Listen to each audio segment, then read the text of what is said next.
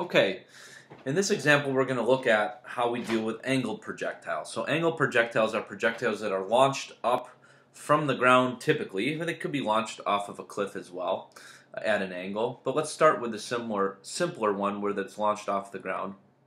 And a couple of things to note about angled projectiles.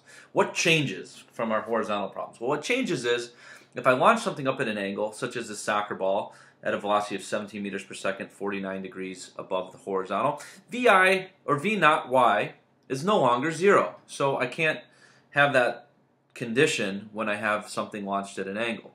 There are a couple things that we are going to be able to use, though. The fact that on its way up and then back down, its vertical motion undergoes a change in velocity from positive to negative, which means I have a velocity in the y direction of zero at the peak or top of its flight. And we also have to use some vector arithmetic or our vector math to look at the components, the x and y components of our velocity vector in order to solve the problem in the x and y directions, just like we did with horizontals. So let's take a look and work through it. All right, we have a soccer ball kicked off the ground at an angle of 49 degrees from the horizontal at a velocity of 17 meters per second. I want to know A, how high does it get? So its maximum height, so delta y at its peak. That's its peak. And how much time does it take to get there? And then in B, I want to know how far does it travel horizontally? And that is the range. The range is, you know, if you're going to launch it, how far does it actually travel side to side? So let's start by looking at the um, first part, the peak. Now, what do I do here? Well, before I can even start the problem, I need to figure out what are my initial x and y velocities of the uh, velocity vector. So I'm going to take that vector, 17 meters per second magnitude at 49 degrees, and I'm going to break it into my x component and my y component.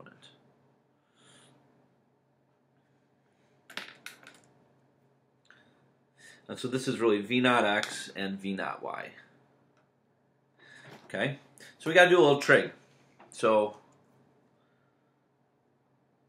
so I know that V naught X is going to be whatever V is, the magnitude of V, times the cosine of theta, which in this case is 17 cosine of 49 degrees meters per second.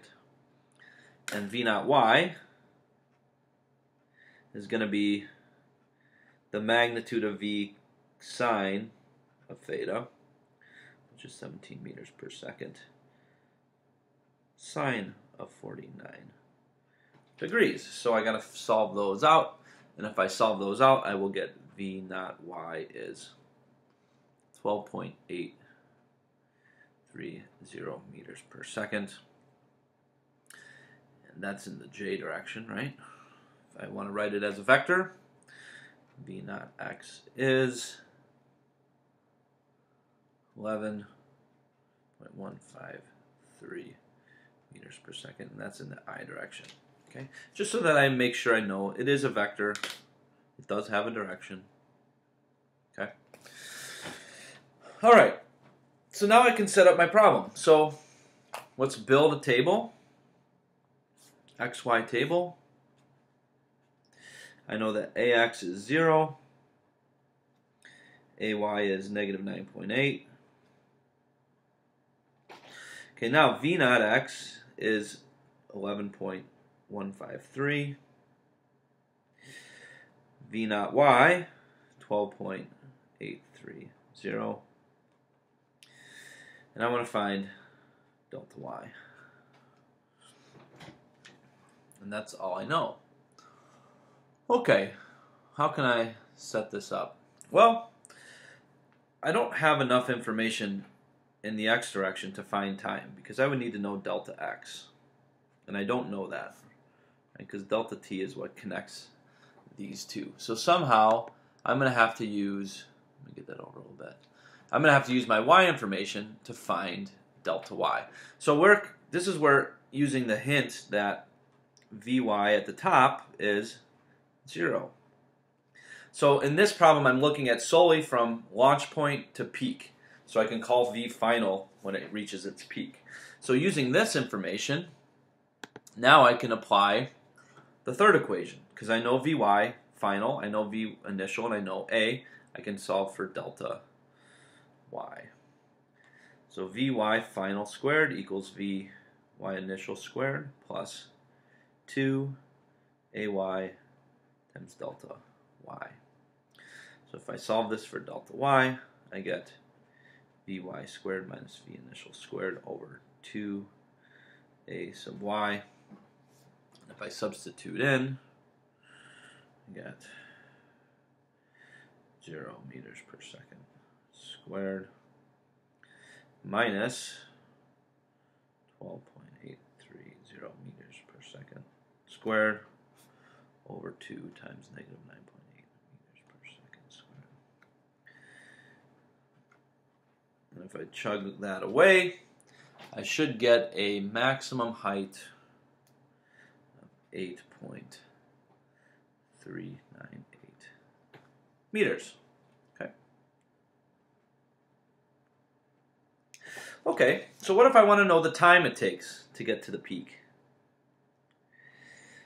Well, if I want to know delta t, I still have a lot of y information, not a lot of x. So let's use y.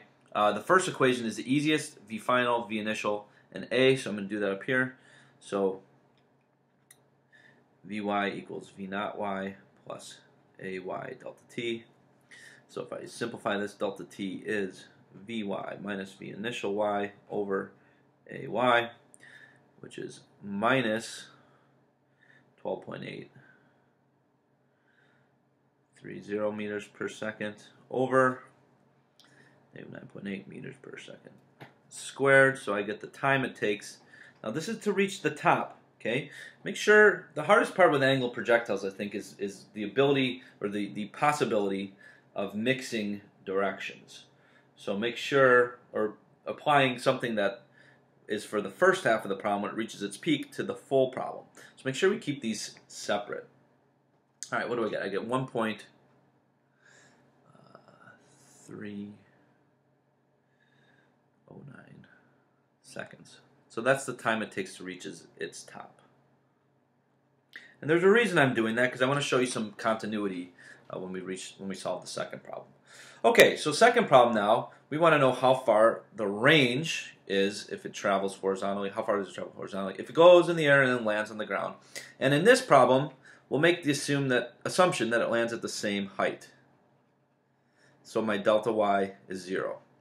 Now in future videos, I will show you how to solve it if delta y isn't 0, but let's keep that for now. So x and y info again. For the full range, now the initial velocities are the same. 11.153 meters per second, and I know that stays constant. V naught y is 12.830 meters per second. The a's are the same. 8 meters per second squared. Uh, in this case, I don't know delta x. I want to find that. But before I can do that, I need time. Because to solve for delta x, I need v naught x times delta t. I have this, I don't have this. So I know delta y is 0. So again, I have the y information I can use to find the x. So let's use, I know AY, I know V naught, I know delta Y. Let's solve for T with the second. So delta Y is V naught Y delta T plus 1 half AY delta T squared. And because this is 0, it becomes a more simple uh, equation to solve. I don't have to use the quadratic formula because one of my T's will be will cancel out. So 0 equals v naught t delta t.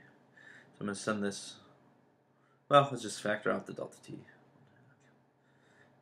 Delta t squared. So I take out a delta t because that'll equal to 0. So I get minus v naught y equals 1 half a y delta t squared. 2, and then divide by ay, and I'm going to square root it. So if I do all that jazz, square root of 2 times minus 12.83 over minus 9.8. I'm cutting some corners here because I don't want this video to be forever. Should get a delta t of 2.618 seconds, which goes here. And then now I can set, set it up here and solve for my delta x. So my Vx is 1.153 meters per second times my time, 2.618 seconds. Seconds cancel, and I get a range, delta x, of, let's see, let's solve that out.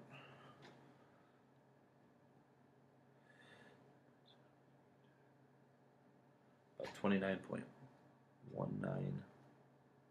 29.198, so let's do 29.20 meters.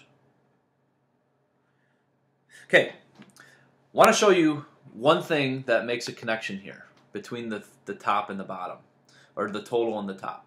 If I have a projectile that lands at the same height, the total time it was in the air was 2.618 seconds. The time it was in the air for half was 1.309 seconds. So if I take that and double it, I get 2.618 seconds. So there is symmetry in the upward motion and the downward motion. We talked about that a little with uh, free fall.